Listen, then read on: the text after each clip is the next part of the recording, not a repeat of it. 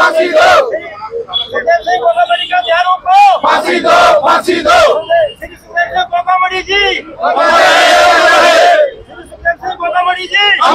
अमर अमर अमर भारत माता की। हमें क्या चाहिए? हमें क्या चाहिए? हमें क्या चाहिए इंसाफ। गोगामणि अमर रहे गोगामणि अमर रहे देव सिंह गोगामणि अमर रहे देव सिंह गोगामणि अमर रहे जब तक सूरज चाँद रहेगा गोगामणि का नाम रहेगा जब तक सूरज चाँद रहेगा गोगामणि का नाम रहेगा जब तक सूरज चाँद रहेगा गोगामणि का नाम रहेगा राष्ट्रीय राजपूत करनी सेना जिंदाबाद जिंदाबाद। करनी सेना जिंदाबाद जिंदाबाद। करनी सेना जिंदाबाद जिंदाबाद।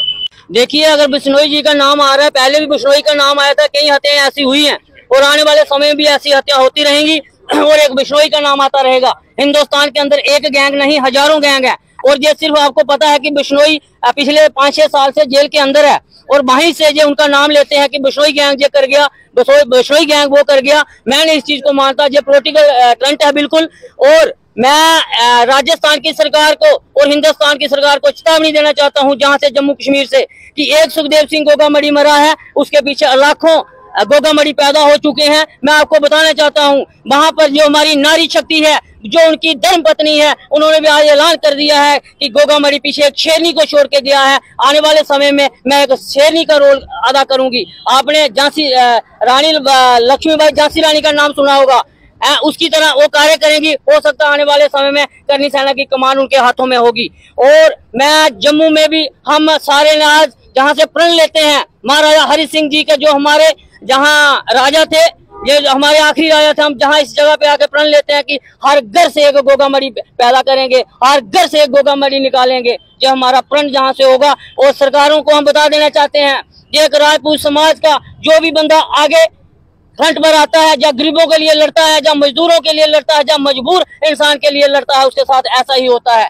मैं, आपने देखा होगा, हिंदुस्तान के अंदर बहुत ज़्यादा संगठन है, बहुत संगठन है, आपको एक डिस्ट्रिक्ट के अंदर चार चार संगठन मिलेंगे, लेकिन जब हत्या होती है, अगर आपको समाज के लीडर की हत्या होती है, क्योंकि इनको मालूम आपने देखा होगा, यूपी के अंदर जो हमारे योगी आदित्यनाथ है, क्षत्रिय समाज से बिलोंग करते हैं और वो किस तरह का कार्य कर रहे हैं, उन्होंने हर एक गुंडे को वहाँ से खत्म किया है। वो चाहे हिंदू हो, चाहे मुसलमान हो, चाहे सिख हो, चाहे ईसाई हो, उन्होंने जात पात को पीछे छोड़कर गलत इंसान को इस धरती पर जीने का कोई हक नहीं होता। और मैं हर एक राज्य की गवर्नमेंट से यही अपील करूँगा, हिंदुस्तान की गवर्नमेंट से यही अपील करूँगा कि अगर आपने कार्य करना है तो जो अपने जोगी आदित्यनाथ जी हैं, उनकी तरह कार्य करें, तभी ये गंदे लोग इस धरती से खत्म होंगे। अन्यथा आने वाले समय में कई ऐसे गोगामड़ियों की हत्या होती रहेगी। कि जो उनकी एक निर्मम हत्या हुई है, हमें काफ़ी शोक है।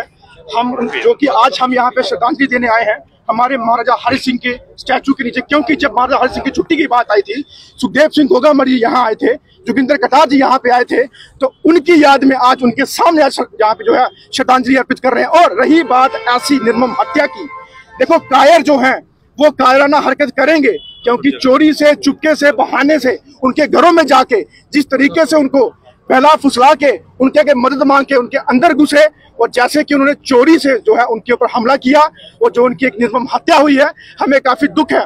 रही बात प्रशासन की, प्रशासन को पहले से ही अलर्ट था कि आप लोग जो है इनको सिक्योरिटी प्रोवाइड करवाई जाए।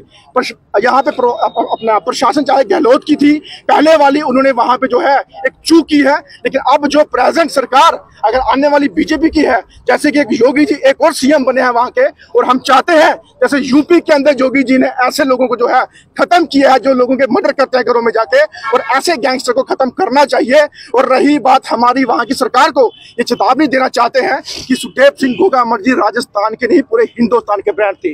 और सुखदेव सिंह गोगामड़ी जी हिंदुस्तान के अंदर एक नहीं, हज़ारों लाखों सुखदेव सिंह गोगामड़ी जी आज पैदा हो चुके हैं। और आज हर एक के अंदर वो आत्मा उनकी आ चुकी है उनके इंसाफ के लिए, उनकी फैमिली के इंसाफ के लिए, उन तमाम आवाज़ के लिए जो छत्तीस कौम को लेकर चलते थे, उन तमाम आवाज़ को जो है आज बुलंद करने का टाइम आया है और उनका इंसाफ लेने के लिए जो है हम राजस्थान में भी कूच करेंगे और जम्मू कश्मीर के अंदर भी ऐलान करेंगे।